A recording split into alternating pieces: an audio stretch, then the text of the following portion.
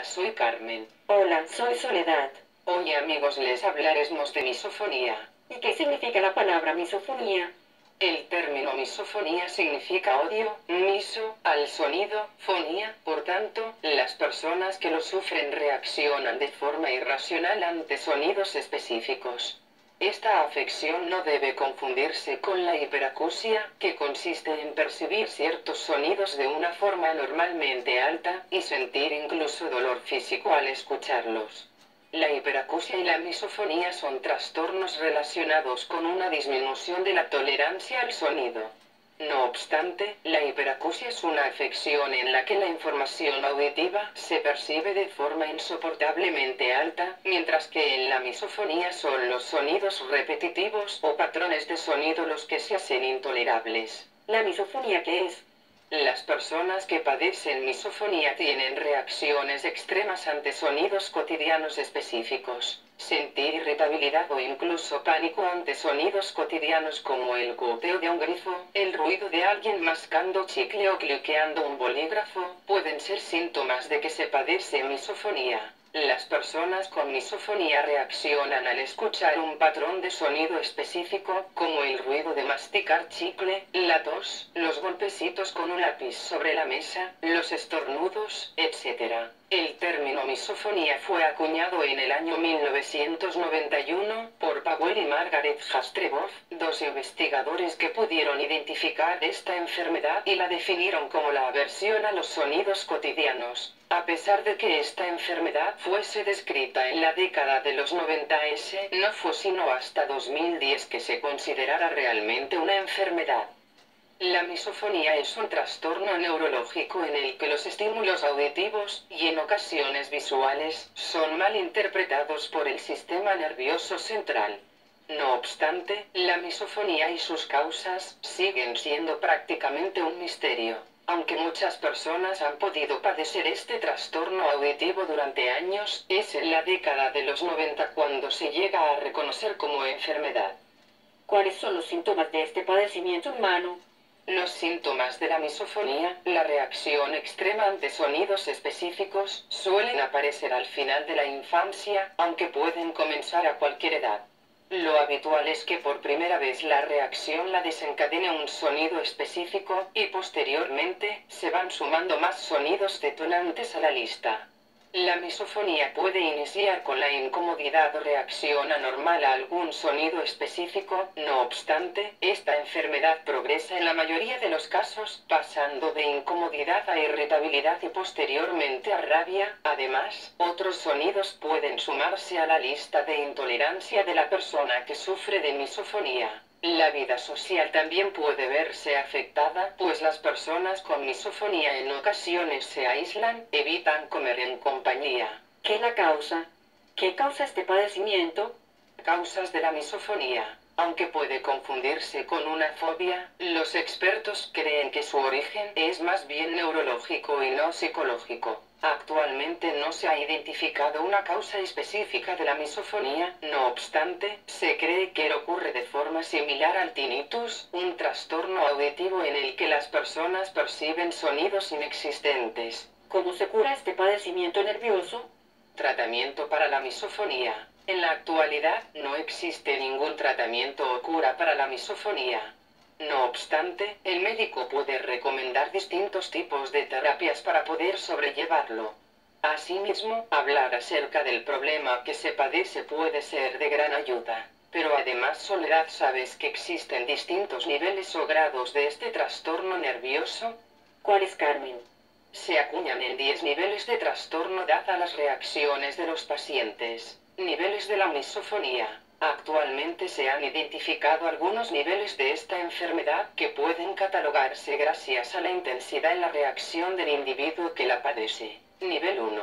El individuo se percata del sonido y de su origen pero no experimenta ansiedad ni tampoco una respuesta negativa. Nivel 2. Se es consciente del ruido y además, el individuo presenta malestar o incomodidad. Puede existir una molestia o irritación ante el sonido, pero de forma mínima pero no existe pánico ni violencia. Nivel 3. El individuo se siente irritable ante los sonidos que le provocan incomodidad y se encuentra alerta sobre posibles sonidos. Nivel 4. Demuestra menos tolerancia a los sonidos que le incomodan, pidiendo que dejen de hacer ruido o bien, cubriéndose o alejándose discretamente de los sonidos. Nivel 5. Su disgusto o rechazo por ciertos sonidos es más evidente, llega a cubrirse los oídos y se muestra irritado.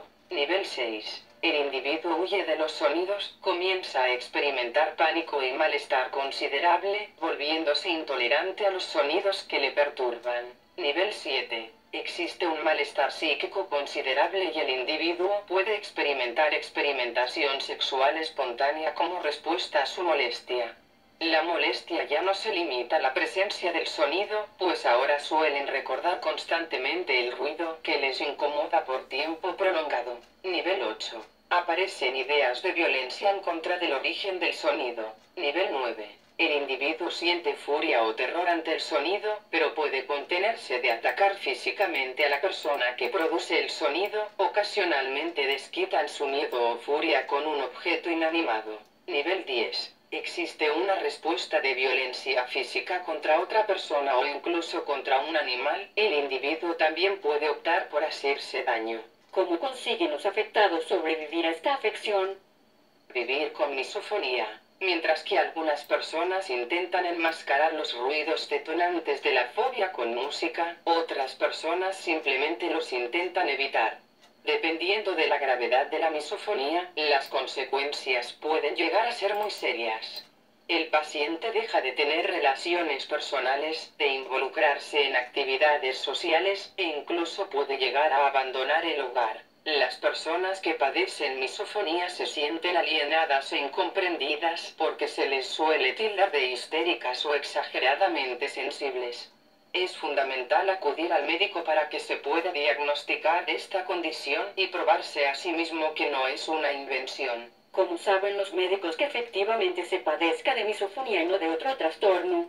Describiendo la misofonía y diferencias con la hiperacusia, se estima que alrededor del 17% de la población general sufre de misofonía. Si bien se trata de una afección descrita recientemente, se han podido identificar claros síntomas. La misofonía y la hiperacusia pueden compartir similitudes, aunque no son lo mismo.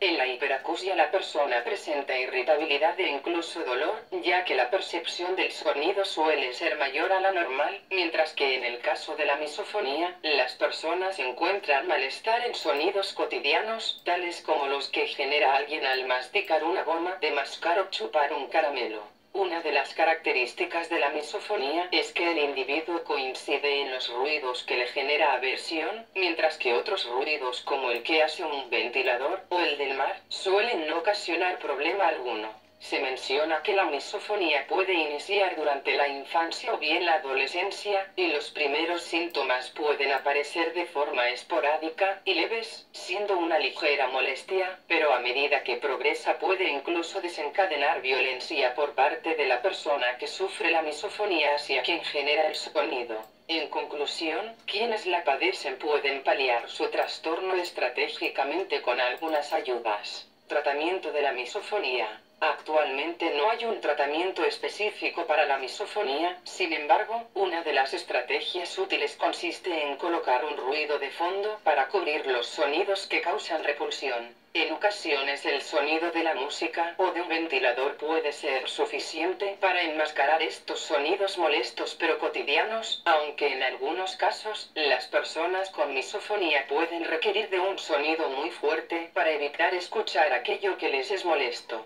Otra estrategia es la de emplear tapones para cubrir los oídos en los momentos necesarios, aunque de esta forma la convivencia puede verse afectada.